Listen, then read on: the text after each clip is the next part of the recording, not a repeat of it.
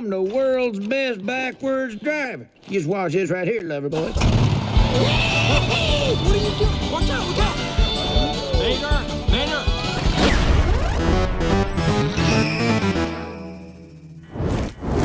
Vader! Welcome back, baby brothers. And uh, today we have a 206.7, 1.7 seconds behind the pole position.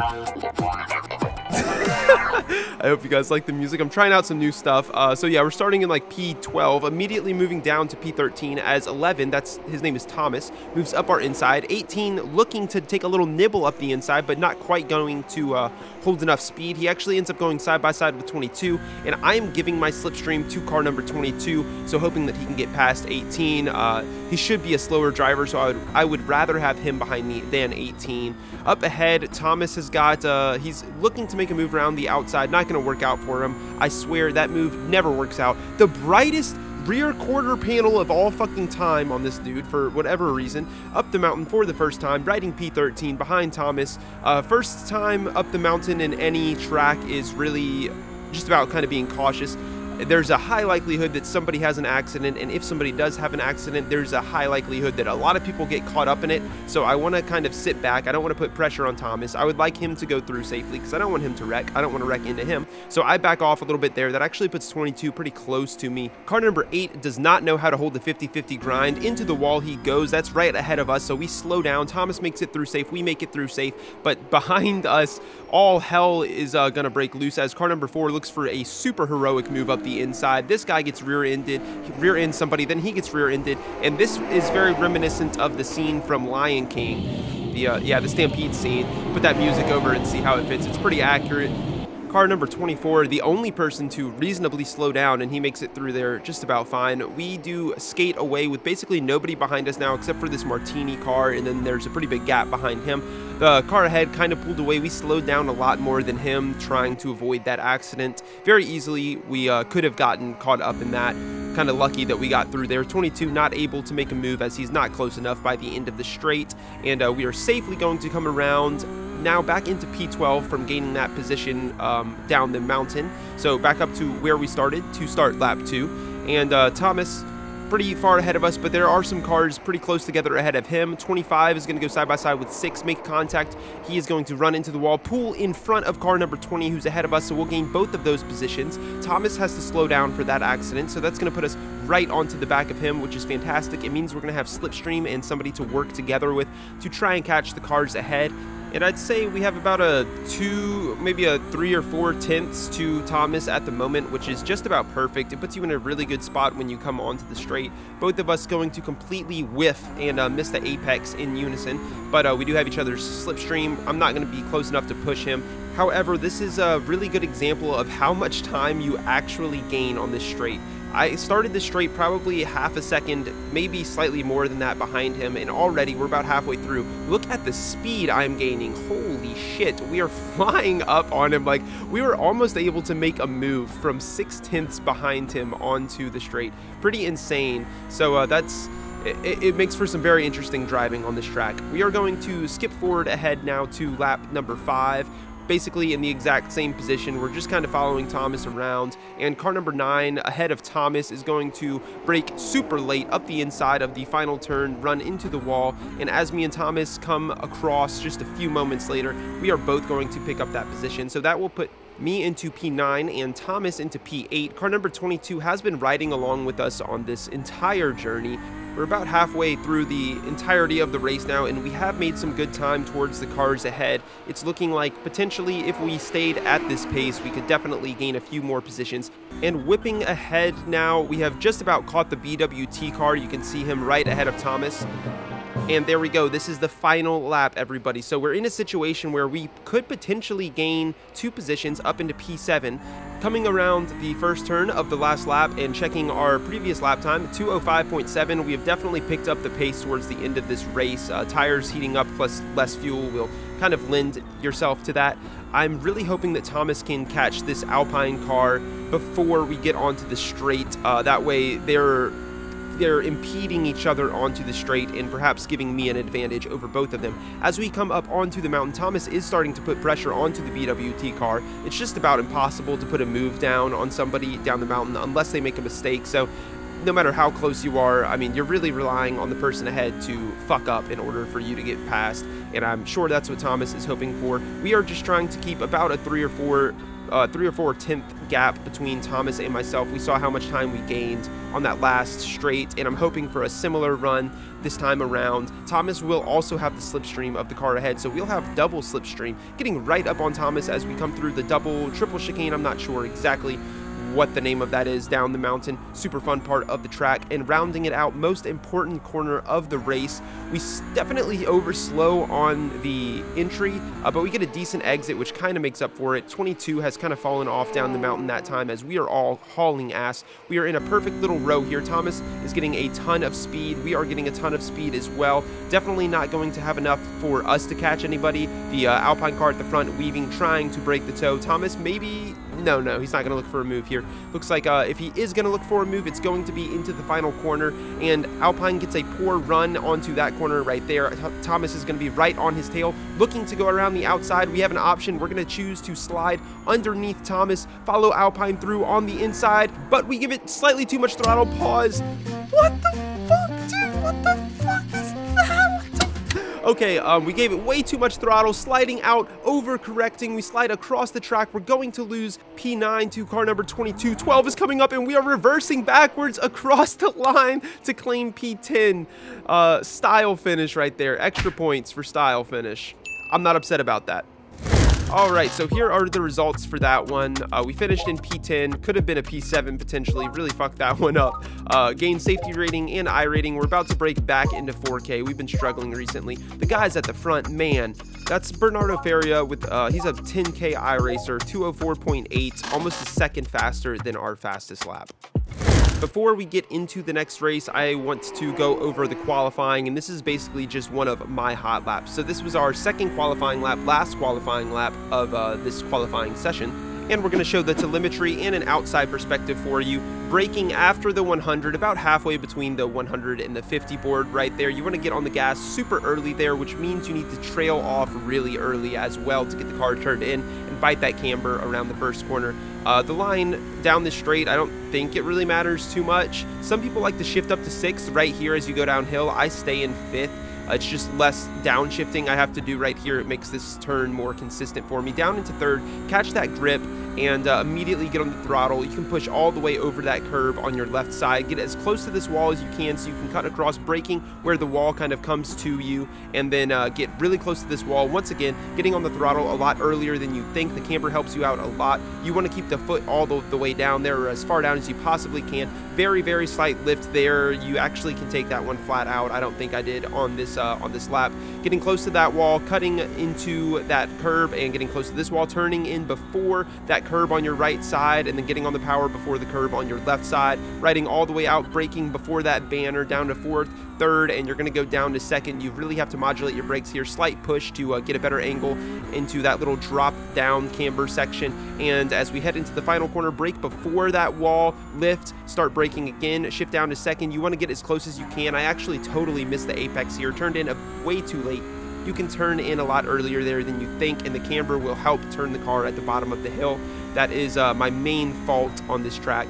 This straight is is uh, it's basically crested, so the middle is very high. So if you go back and forth, you're actually losing speed because you're having to go slightly uphill over and over again. So choose a side and stick to it. Uh, six gear braking at that 150 or just slightly after, trail off and get on the throttle just before that curb. Be careful, you, you do have to build up the pressure slowly there. If you go full throttle, very easy to spin when the car lands after you kind of jump that curb. Braking after the 100 down to second and very, very smooth onto the throttle here. Super easy to spin out there as I have done so many times. And that'll be a 205.8 which is good enough for pole position. Only four or three one thousandths ahead of Carlos, and we have Daniel Gray here, who's also a uh, content creator. Uh, big shout out to him. And without further ado, let us set out on our quest to uh, claim P1. It's going to go pretty poorly to start it off, losing it to car number three there as he pulls around the outside of us. Big surprise there. Big, big, big, big surprise there, right? Uh, we're going to be able to follow him on the racing line, though, because the cars behind were fighting just ever so slightly. It's going to slow both of them down, so we're kind of safe here to take the racing line. Lightning McQueen looking to go up the inside of Daniel Gray, but Daniel Gray makes a move to the inside to defend it. Car ahead of us, the current leader, goes super wide into T1, and we will take that position, as well as I think a couple of others may, may end up uh, sliding through there. Yep, uh, looks like the Cat car is going to follow us through up the mountain for the first time. We, we want to get away from these guys as quickly as possible. I know it's going to be difficult. These are some fast drivers behind us.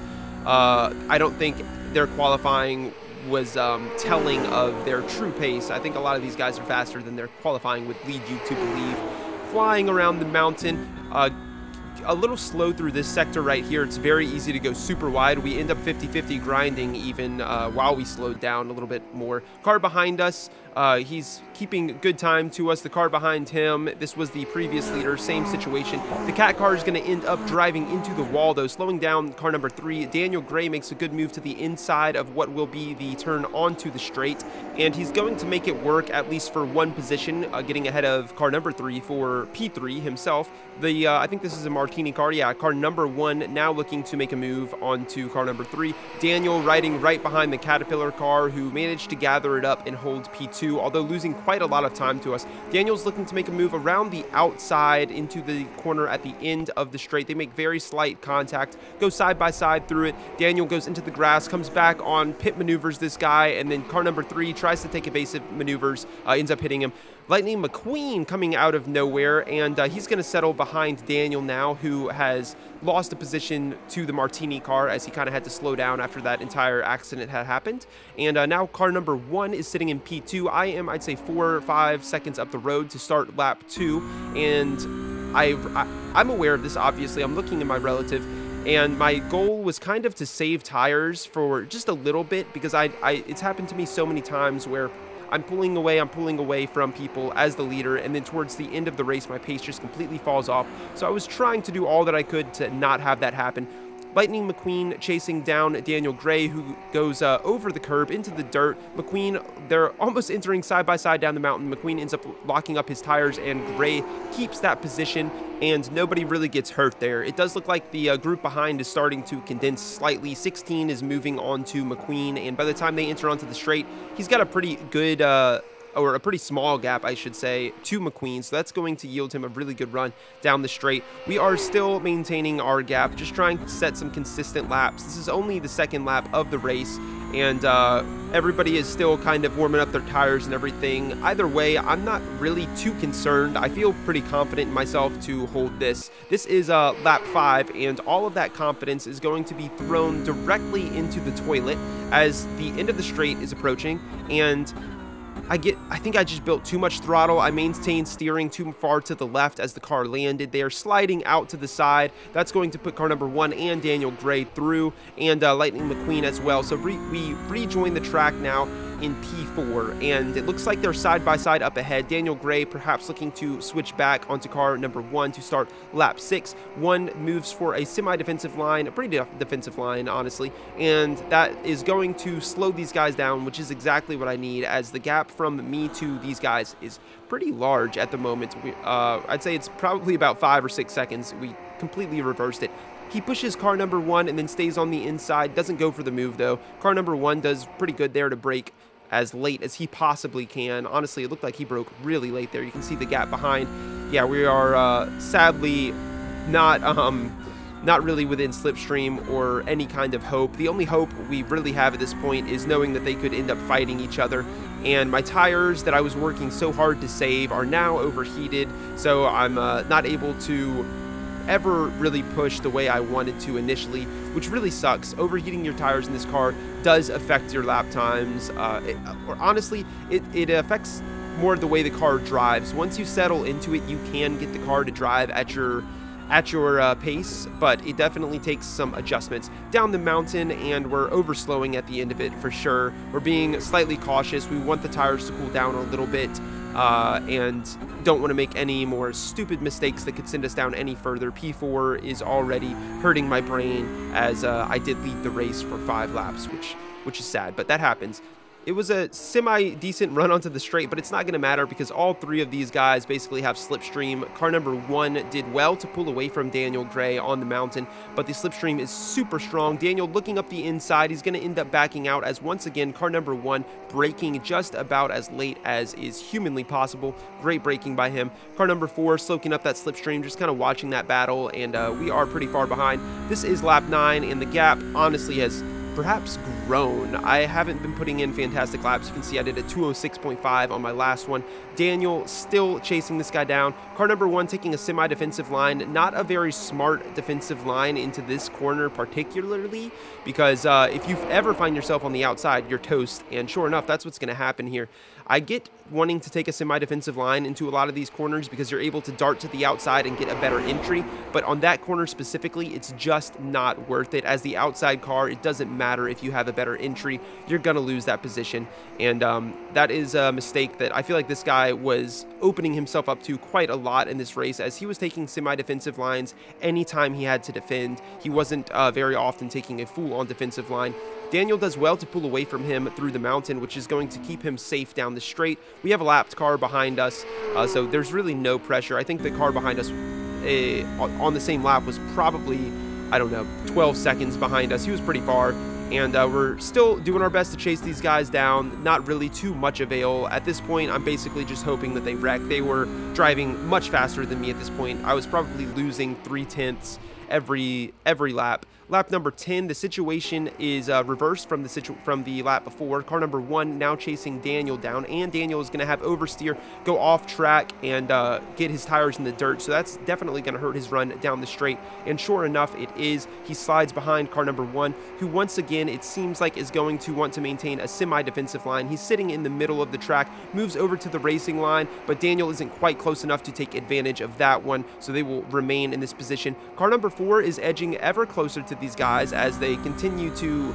uh, impede each other slightly with their defense and offense that's being thrown down. Up the mountain for, this is lap 10 still, so we have two laps left, and you love to see this a three-way fight for the lead with two laps left on Mount Panorama. It doesn't happen super often. A lot of times when it is this type of situation, um, it's not really people switching positions. It's more people just chasing each other down. This is the penultimate lap and similar situation at the moment. If there is going to be some moves throw down, thrown down, it needs to start happening pretty soon because uh, you wait too long and the opponent gets one good run through the mountain and you are done. So Daniel getting right up behind car number one. Beautiful run on the penultimate lap, hitting that apex fantastically, and he is in as good of a place as you could possibly be uh, coming onto this straight, getting right behind him, soaking up that slipstream. One is holding what will be the inside. Daniel looking to go around the outside, uh, but we're going to pause. Please remember to like and subscribe.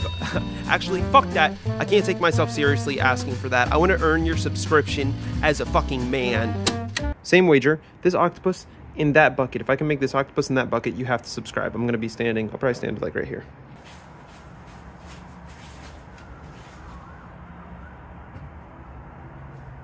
Shot myself in the foot a bit there. Uh, back to the race. Daniel is, he's looking to go around the outside, but switching to the inside at the last second as car number one, once again, taking a semi-defensive line in the middle, and I feel, I, I'm just not a fan of that. They're going side by side into the turn at the end of the straight. Looks like they will stay side by side for the penultimate corner. Slight contact, and then they run into each other. Sick ass fucking drift, baby, until they run into the wall and wreck horrendously. So, uh, breaking this down, it looks like they made what honestly could be attributed to netcode contact, and then one just completely cuts it across the track and kills Daniel. Initial uh, contact, I'd say, is a racing incident. That one I would put on car number one. Wow, nice job, man. He was not happy.